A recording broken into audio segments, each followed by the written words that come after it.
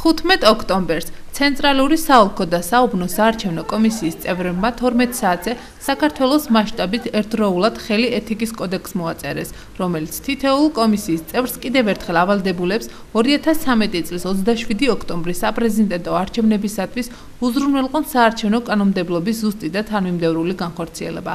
აღნიშნული პროცედურა ნომერ 57 ტყიბულის საოლქო საარჩევნო კომისიის წევრებმაც გაიარეს და ეთიკის კოდექს გაცნობის შემდეგ ხელი მოაწერეს.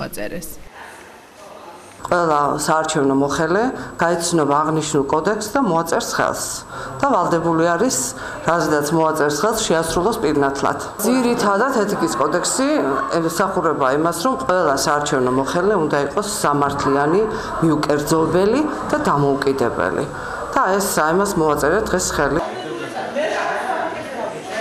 ეთიკის კოდექს ასევე გაეცნენ და მასზე თანხმობა ხელმოწერით დაადასტურეს ტყიბულის ოლქში შემავალმა 37-ვე საუბნო საარჩევნო კომისიის წევრებმაც. ბუბნის საარჩევნო კომისიის ეთიკის პროცესი. ანალოგიური იყო